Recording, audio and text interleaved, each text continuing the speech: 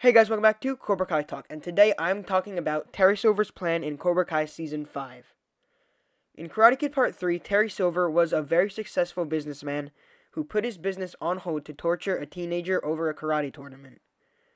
In Cobra Kai Season 4, they explain that he was on cocaine, which is why he was so crazy. And I liked how they explained that because it can it because the movie made not really any sense of why Terry Silver would go after him. So I thought that was really smart that they had it so he was on drugs, which is why he did that. After we saw in Cobra Kai season 4 that after Karate Kid Part 3, he got therapy and got his life back on track. He doesn't want anything to do with Cobra Kai or Kreese, but Kreese gets in his head and he gives in to Kreese and rejoins Cobra Kai. Even after he joined Cobra Kai, he wasn't crazy. He was smart and made it so his students wouldn't do anything stupid and wouldn't fight or do anything dumb before the tournament, so they would have the best chance to win. Kreese isn't happy with Silver being smart, so he starts to bring back the memories from Vietnam and tried to give him PTSD or try to bring back the memories and make him go crazy. Terry Silver finally loses it and lures Johnny into the old Cobra Kai dojo to beat him up to try to show Kreese that he's loyal to him and that he wants to win and he's full Cobra Kai again. Kreese doesn't like this because he because he thinks of Johnny as his son. So Kreese doesn't like it and he starts to resent Silver a little bit throughout the rest of the season. Stingray comes back to show he wants to be in Cobra Kai, but Silver starts to beat him up and I thought that he was actually gonna going to kill him in this scene. It was crazy because you see him beating him up, and then you see him step on his head. So I thought he was actually going to kill him.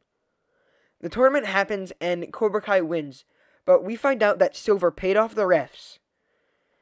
Kreese and Silver are sharing a drink after the tournament to celebrate their win, but we find out that the whole tournament Silver had a plan to get Kreese arrested after, and then a bunch of police cars pull up and tell Kreese that he's under arrest for assault and attempted murder and Terry so and Silver frames Kreese for a crime that he committed, and that's where his story leaves off in season four. In season five, I think that he is going to be one of the most important characters in the Valley, even though he already was in season four. But I think he's going to be more important because Johnny's going to be in Mexico for a lot of the season. Kreese is in jail, but Silver at the beginning of the season is going to be recruiting people to help with all the new dojos. He's going to make some of he's probably going to make some of his best students senseis at the dojos, but also get some of old, some old friends to help out, also known as Mike Barnes. When he finds out that Daniel is not closing down Miyagi-Do, he is going to be furious. I think that he is back on drugs, so he is going to go and try to fight Daniel or send his students to do something. But he's going to just try to get them shut down because if they won't shut down, he's going to shut them down himself. The rest of the season, he's going to be training his students to mess to like hurt the Miyagi-Dos or just try to make them to train them to hurt them so they shut down. His whole story will be him trying to get rid of Daniel and Chozen, and I think he's going to try to confront Daniel away from Chozen a few times because he knows that Chozen is maybe a bigger threat than Daniel. When Johnny gets back, Terry Silver is going to put all of his attention on Johnny.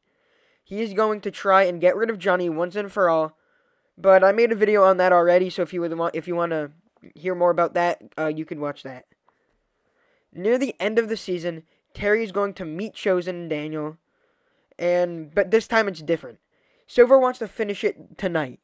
He wants he sees them and he starts to he just starts a fight. He singles out Daniel because he knows Chozen is a harder target and taking out Daniel first will give him more time to go after Silver. Daniel gets knocked out, so it's just Chozen and Silver. I said this in one of my recent videos. These guys are not holding back. This fight is going to be insane and I don't I think that one of them is not going to make it out alive. Terry Silver is now is one of my favorite characters in the show, and he was written so amazingly, and he was arguably the best part of season four. And I love how they made him progressively get more and more crazy until now he's like the ultimate like he's like the Thanos of the of Cobra Kai. And I think that's super cool. I love how they, you know, explained why he was so crazy and why he would put his business that's made billions of dollars on hold and risk getting arrested or going to jail for a karate tournament. But if you guys like Cobra Kai and like this video, you might want to consider subscribing and comment what you guys think about Terry Silver in Cobra Kai Season 5. And remember, strike first, strike hard, no mercy. See ya.